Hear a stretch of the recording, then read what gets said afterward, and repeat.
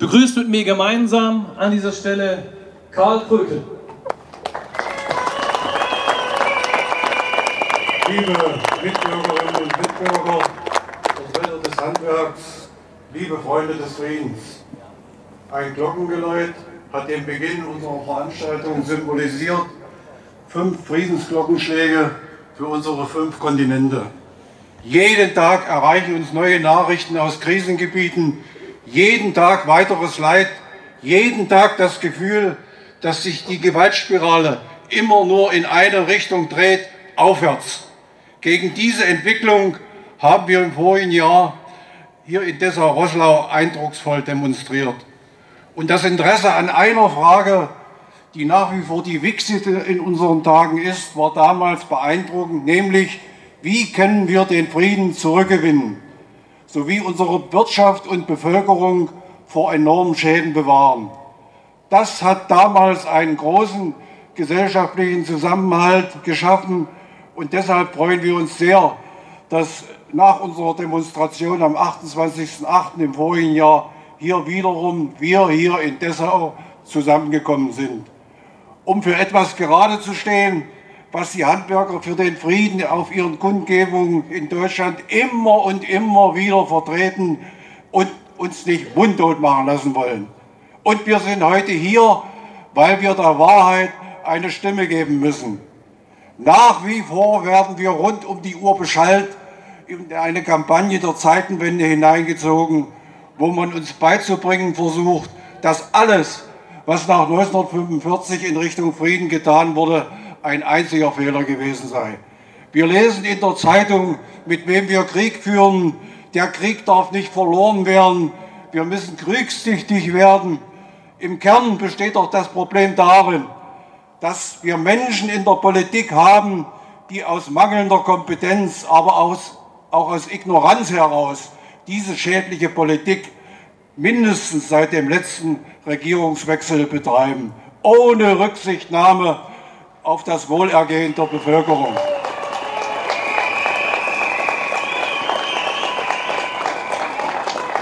Aber auch ohne zu bedenken, welche Konsequenzen diese Politik für die ukrainische Bevölkerung hat, die unter diesem Krieg leidet. All das wird verbrämt, indem man sagt, die Ukraine wird gewinnen, weil sie gewinnen muss. Dazu sagen wir Nein. Diese Gewaltspirale müssen wir durchbrechen. Aber dazu braucht es Menschen, die Verantwortung übernehmen, standhalten und eben Nein sagen. Und das in persönlicher Verantwortung, auch wenn du dann alle Qualitäts- und Leitmedien äh, gegen dich hast. Aber das ist eben die wirkliche Auseinandersetzung, vor der wir auch heute stehen, mehr denn je. Mut, ein eigenes Gewissen zu haben und sich nicht einschüchtern lassen. In dieser Situation gehört eben Mut dazu, zum eigenständigen Handeln aufzurufen. Wir als Handwerker und Sie haben ihn und wir wollen ihn weiter auf die Straße tragen. Nein zu Kriegen und den Rüstungswahnsinn stoppen. Und genau das ist die Kampagne am heutigen Mittag hier auf dem Dessauer Schlossplatz.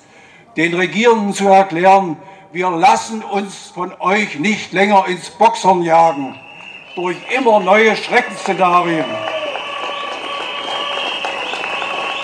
Sie haben die Pflicht, sich zusammenzusetzen und vernünftige Verträge zu machen und keine Sanktionspolitik in Gang zu setzen. Und auch im Nahostkonflikt trauern wir um die Toten, die Verletzten und Verschleppten und sind entsetzt über die schreckliche Gewalt des Angriffs der Hamas und der militärischen Antwort der israelischen Armee. Wir wollen hier auch unsere Forderungen auf die Straße bringen können, ohne als antisemitisch oder terrorunterstützend denunziert zu werden. Wir fordern von der Bundesregierung, setzen Sie sich für einen sofortigen Stopp aller Kampfhandlungen und die Freilassung der Geiseln ein. Sorgen Sie für eine humanitäre Versorgung der Menschen in Gaza befördern Sie den Beginn von Friedensverhandlungen.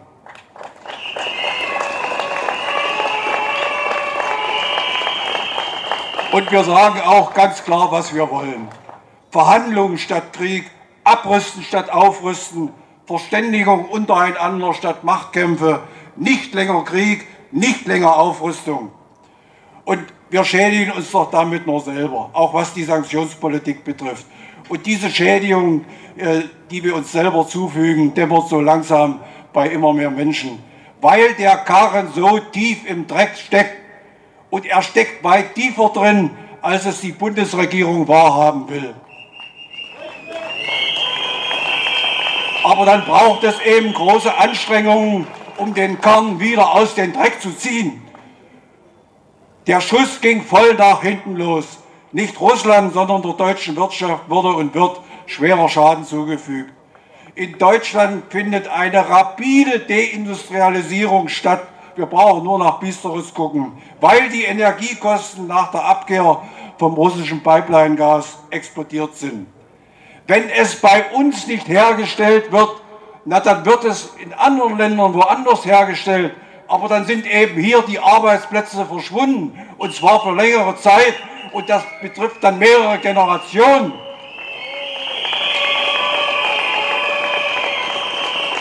Wenn wir im internationalen Wettbewerb bestehen wollen, sind wir auf bezahlbare Energie und Rohstoffe aus Russland angewiesen. Jetzt beziehen wir viel teures russisches Gas in Form von Flüssiggas über Belgien und ebenfalls viel teures russisches Öl über Indien. Das haben wir vor einem Jahr als Handwerker mit normalen, logischen Menschenverstand vorausgesagt und so ist es leider gekommen. Und keine andere europäische Regierung hat so töricht gehandelt wie unsere. Es gibt weiterhin einen unbeschädigten Strang der Nord Stream 2. Ich gehe jetzt mal ja nicht auf diese äh, Aufklärung mit angezogener Handbremse ein. Aber äh, über diesen könnten 27,5 Milliarden Kubikmeter äh, Gas jährlich geliefert werden. Deutschland trifft deswegen nicht die Entscheidung, weil es Washington nicht gestattet. Wir sind eben die Vasallen der Amerikaner. Aber wir fordern, weil es eben notwendig ist, die sofortige Inbetriebnahme und Aufnahme der Lieferungen. Geld haben wir für gar nichts. Nichts für den Unterhalt von Krankenhäusern, nichts für notwendiges Pflegepersonal in den Heimen, nichts für Lehrer an den Schulen, nichts für Angestellte in den Kindergärten. In Deutschland fehlen 300.000 Kita-Plätze. Die Tafeln knicken unter der Last der Bedürftigen ein. Seit Beginn des Ukraine-Krieges verzeichnen die Tafeln 50 Prozent mehr Kunden und versorgen derzeit bis zu über zwei Millionen Menschen mit Lebensmitteln. Dieser soziale Krieg gegen die eigene Bevölkerung ist eine Politik, die die Infrastruktur in Deutschland weiter kaputt kürzt und uns als Industrieland massiv gefährdet. Die Klare Ansagen. Finde ich gut. Die Mieten fressen bald mehr als die Hälfte des Monatslohns. Die Gas- und Strompreise sind so hoch, dass immer mehr die Rechnung nicht mehr bezahlen können. Der Deutsche Mieterbund spricht hier über Millionen. Die Strompreise in Deutschland sind dreimal so teuer als im internationalen Durchschnitt. So müssen private Verbraucher der USA nicht einmal die Hälfte dessen zahlen, was Verbraucher hierzulande schultern müssten. Saudi-Arabien, Russland, Mexiko, China, Kanada, Südkorea werden weniger als 10 Cent pro Kilowattstunde fällig. Und das alles, weil wir einen Wirtschaftskrieg gegen Russland losgetreten haben, den wir nicht gewinnen können. Einen Wirtschaftskrieg gegen eine Volkswirtschaft, die nahezu autark lebensfähig ist. Und einen der wichtigsten Rohstofflieferanten der Welt zwingt man auf diese Weise nicht in die Knie. Das weiß jeder normaler, gebildeter, auch hier Dessauer, sage ich mal. Das ist eigentlich nicht schwer zu verstehen. Und die Deindustrialisierung äh, unserer Wirtschaft ist ja kein heraufbeschworenes äh, Gespenst, sondern Realität. Es ist einfach wirtschaftspolitischer Irrsinn, der hier getrieben wird. Und für was eigentlich? Außer eben mal 100 Milliarden aus der Hand geschüttet für Bomben und Raketen, für Panzer, für F-35, Tarnkappenpanzer aus amerikanischer Produktion. Woher dieser Wahnsinn? Es geht nicht um Menschenrechte. Es geht nicht darum, jeden Quadratkilometer der Ukraine zurückzuerobern und zu befreien. Und mit 85,5 Milliarden sind die Militärausgaben 2024 die größten seit Bestehen der Bundesrepublik. Damit zieht die Bundesrepublik an allen anderen EU-Staaten und auch an der Russischen Föderation vorbei.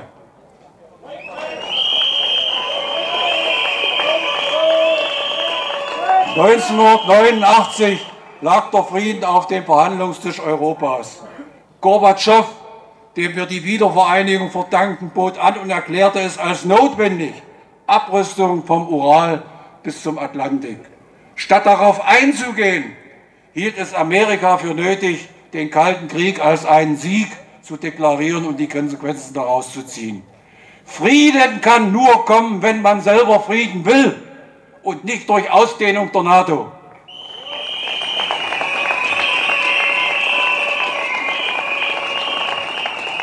Keine Ausdehnung, um keinen Zentimeter. Das war das Versprechen von damals. Die Russen zogen ab, das US-Militär blieb. Die Zusage der NATO, nicht nach Osten zu erweitern, war aber die Voraussetzung dafür, dass die sowjetischen Truppen aus Deutschland abgezogen wurden obwohl die Amerikaner blieben. Es hat also Versprechen gegeben, einfach deshalb, weil der Westen keine andere Möglichkeit hatte, die Zustimmung der UdSSR für die Wiedervereinigung zu bekommen. Gorbatschow hat die deutsche Wiedervereinigung einzig und allein deshalb akzeptiert, weil er die Zusicherung von Bush, Baker, Kohl, Genscher, Zetscher und von Manfred Wörner bekam. In diesem Sinne hat Manfred Wörner am 17. Mai 1990 in einer Ansprache in Brüssel erklärt. Die Tatsache, dass wir bereit sind, keine NATO-Armee jenseits des deutschen Staatsgebiets zu stationieren, gibt der Sowjetunion eine feste Sicherheitsgarantie. Und wer dies bestreitet, kennt einfach nicht den Wert des gegebenen Wortes. Und so hat man eben die Versprechen schnell vergessen. Was für ein armseliges Verständnis vom gegebenen Wort und der Ehre. Und es war auch irrational, auch weil der atomare Aspekt ausgeklammert wurde. Was für ein Verrat am Wesenskern Europas. Und bei allem, bei aller Kopflosigkeit und Schuldzuweisung in der heutigen Zeit dürfen wir das Eigentliche nicht übersehen. Das Eigentliche ist, dass die noch 1989 vorhandene Hoffnung für eine Neugestaltung des europäischen Kontinents gescheitert ist. Der Aufbau einer kooperativen kontinentalen Friedensordnung, jenes europäische Haus von Lissabon bis Vladivostok, von dem Gorbatschow stets sprach. Und heute treibt die Frage, wie dieser Krieg, wie dieses Grauen beendet werden kann, unsere ganze Bevölkerung auf. Wenn wir in eine immer tiefer werdende äh, Spaltung der Gesellschaft verhindern wollen, wo wir ja teilweise auch hingetrieben werden. Die Gesellschaft soll, soll sich spalten, soll unterschiedliche Auffassungen. Dann sollten wir aber respektieren, und das ist hier heute nochmal mein Appell an die Demonstranten, dass die einen wie die anderen zwischen Russland und der Ukraine den Frieden wollen. Aber wenn wir nicht daran glauben, dass durch Waffenlieferung das Selbstverteidigungsrecht der Ukraine gestärkt wird, um dadurch einen gerechteren Frieden zu erreichen. Wenn wir das anders sehen und keine Waffenlieferung und einen unverzüglichen Waffenstillstand wollen, dann darf man uns nicht als Putin-Knechte bezeichnen.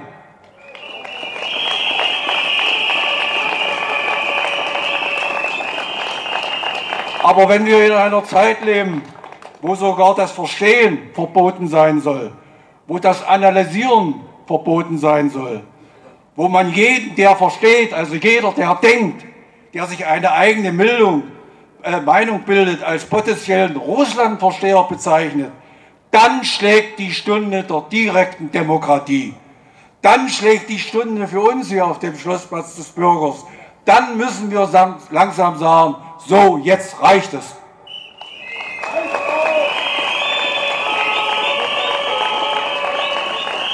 Wenn ich zum Beispiel in einem Krieg für Frieden bin, dann muss ich mir nicht von irgendjemandem erzählen lassen, der noch nie sein geschütztes Büro, seinen Bildschirm verlassen hat, ich sei ein Diener des Bösen. Wir müssen uns heute wieder mehr wehren, um unserer eigenen Meinung Gehör zu verschaffen. Heute herrscht intensiviert ein Krieg gegen die eigene Meinung, gegen die Meinungsvielfalt. Da müssen wir dagegenhalten. Das dürfen wir uns nicht bieten lassen. Und, und wir wissen das aus der Geschichte auch Deutschlands. Ein einseitiges Meinungsklima hat ganz konkrete Auswirkungen auf die Gesellschaft. Wenn einseitig gesprochen wird, dann kommen auch einseitige falsche Entscheidungen, wie wir jetzt sehen, zustande. Und dieses einseitige Meinungsklima produziert Entscheidungen, wo der Verdacht nicht mehr vom Tisch zu wischen ist, dass unsere Interessen, die des Volkes, überhaupt nicht mehr im Mittelpunkt stehen.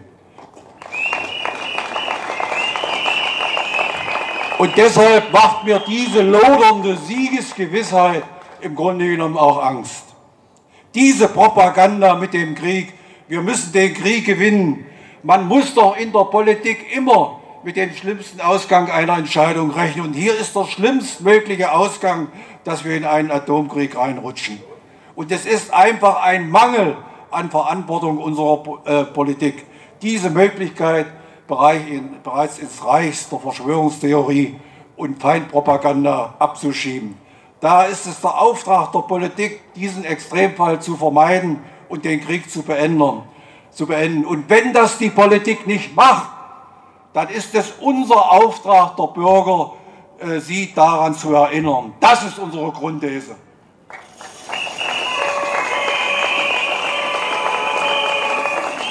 Die Realität des Krieges ist nicht, einfach eine Fußnote, die man einfach hinnimmt. Da kommen Leute auf uns und sagen, in der Ukraine wird unsere Gesellschaftsordnung verteidigt, werden unsere Werte verteidigt.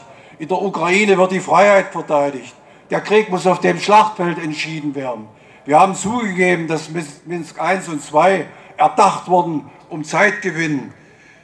Und dieser Krieg in der Ukraine ist nicht nur eine militärische Auseinandersetzung, es ist auch ein Informationskrieg.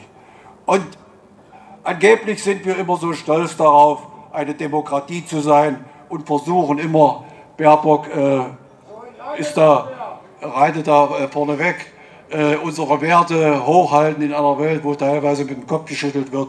Und wir sagen dann, wie wir uns in einer Demokratie von anderen unterscheiden. Ja, wenn das so ist, aber was tun wir denn? Wir ignorieren das Friedensgebot der Verfassung und wir ignorieren das Recht auf freie Meinungsäußerung. Wir ignorieren, dass der Krieg längst hätte beendet werden können.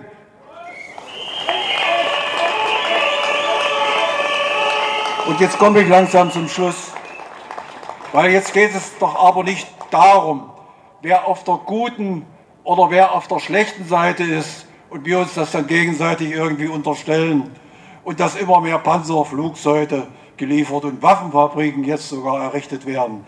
Jetzt, wo wir in einem ernsthaften Krieg sind, geht es doch darum, eine weitere Zerstörung und viele Tote zu verhindern und alles dran setzen, dass der Frieden zurückkommt und zwar stabil und vor allen Dingen auch auf der Grundlage der Berücksichtigung aller Interessen.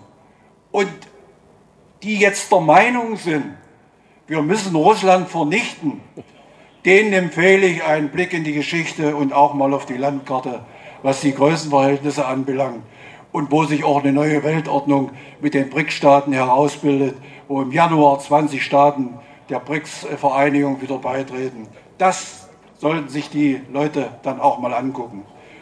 Und der Krieg, und das ist mein Schluss, in der Ukraine und auch in Nahost muss, wie alle Kriege der Welt, beendet werden. Es gibt keinen Grund für Deutschland, kriegstüchtig zu werden. Und, und es muss ein Umdenken erfolgen.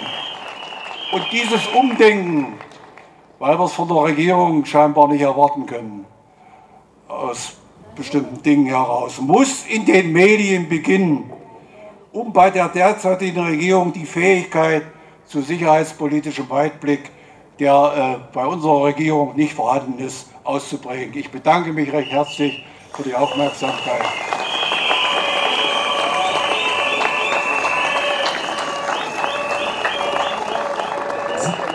Kreishandwerksmeister Karl Krödel, vielen lieben Dank.